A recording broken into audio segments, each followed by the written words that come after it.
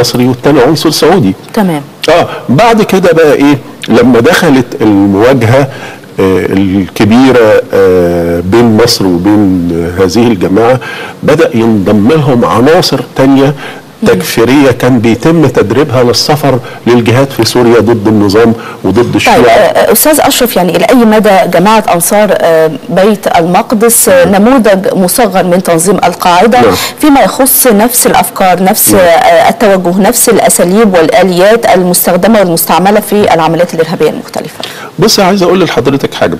بردك الأمانة هو فكر القاعدة يختلف عن فكر الإخوان ويختلف عن فكر حماس لكن هو ما يحدث الآن هو عبارة عن مزاوجه المصالح.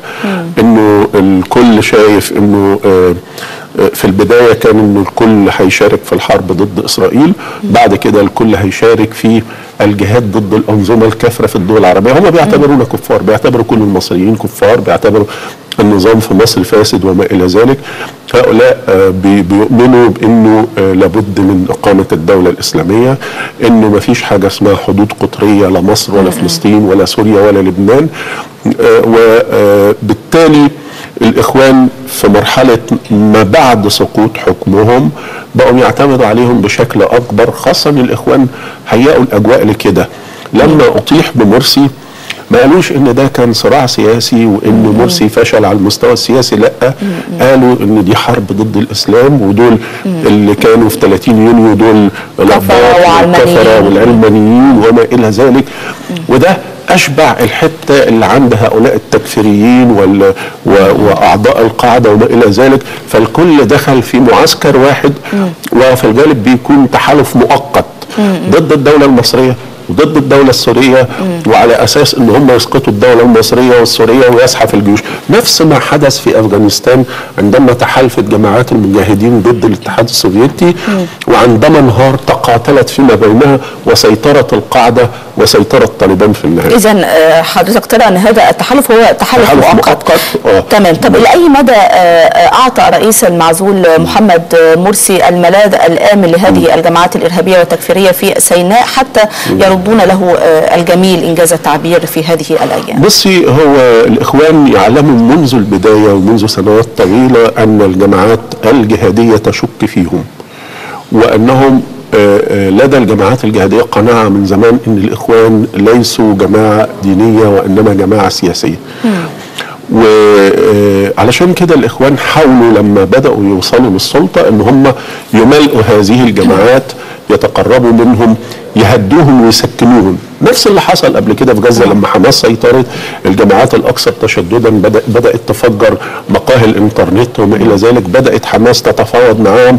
طيب إحنا هنسيبكم تشتغلوا ضد إسرائيل بس ما تعملوش حاجة في الداخل. طب هتشتغلوا ضد إسرائيل من هنا؟ إسرائيل هترد علينا وإحنا لسه ما تمكناش. طب اخرجوا اشتغلوا ونسيب. نفس القصة الإخوان عملوها في مصر.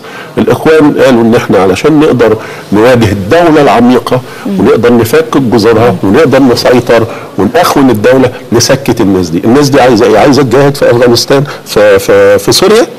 افتح لهم معسكرات تدريب في سيناء وافتح لهم معسكرات تدريب في المنطقة الغربية في السلوم ومطروح ويروحوا يتدربوا في الصحراء الليبية وبالتالي أوجد لهم المكان اللي قدروا يتجمعوا فيه. ولما مرسي شخصيا خرج وأعلن الجهاد آه، على آه، سوريا كان أكبر حاجة شجعت هؤلاء إن هم يتجمعوا ويجيبوا عناصر ويظهروا العناصر اللي كانت مختفية. وزود قوة هؤلاء الإفراج عن الناس من السجون.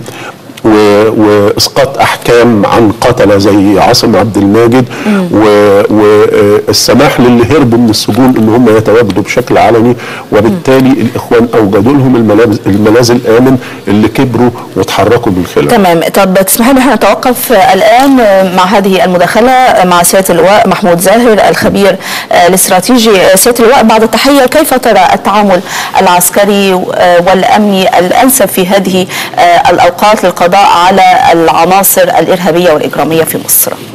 اولا بسم الله الرحمن الرحيم وتحياتنا لحضرتك ولضيفك الكريم.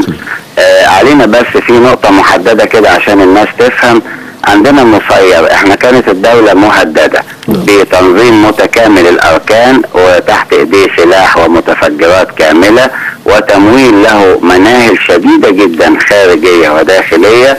ثم كانت المساحة مفتوحة أمامه ومترهلة. وده كان مهدد للدولة. ده انتهى في في 14 8 2013 النهارده المرحلة اللي كانت بعد كده كان في إجبار من هذه البقايا لهذا التنظيم المسمى خوان المسلمين في إنه يجبر الدولة إنه يشارك في الحكم. وده انتهى في تم في 30 8 و31 8 بحادثة جامع الفتح. بعد ذلك أصبح لا عندنا تنظيم متكامل أصبح التنظيم متكسر ليس له رؤوس ليس له دعم وتمويل وقفلنا منابع التمويل وأصبح يتوجه إليه ضربات قوية جدا. إحنا في آخر حالة من حالاته اللي بنسميها رأسة البجعة أو بنسميها ال- الر- الرقم الأخير في نفسه وبنتوقع عمليات تافهة وبسيطة لا تؤثر لا في الدولة ولا في الروح الشعبية للشعب الإيجابي ولا في القوات الأمنية وهي قتل أو إجرام في قتل شخص معين من من وقت إلى آخر. إذا ما يحدث أنت ترى أن يعني هذه الأعمال الإرهابية لم ولن تثني الشعب المصري على المضي قدما في آه، تنفيذ خارطة الطريق.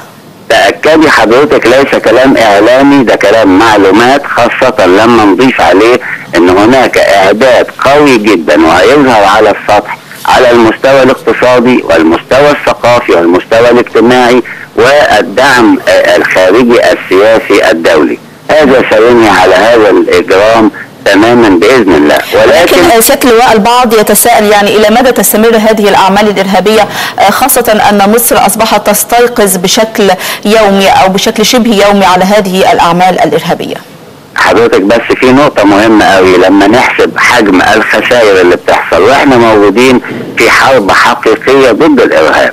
ما في حرب ما فيش حرب في الدنيا ما فيش فيها خسائر. لابد أن نعترف بذلك. ولكن لابد أن نقيس الخسائر بالنسبة للمكاسب. مصر النهاردة بفضل الله خرجت من عمق ويعني منطقة مظلمة شديدة للغاية إلى قامة فوق السطح وهذه القامة في نماء بفضل من ربنا.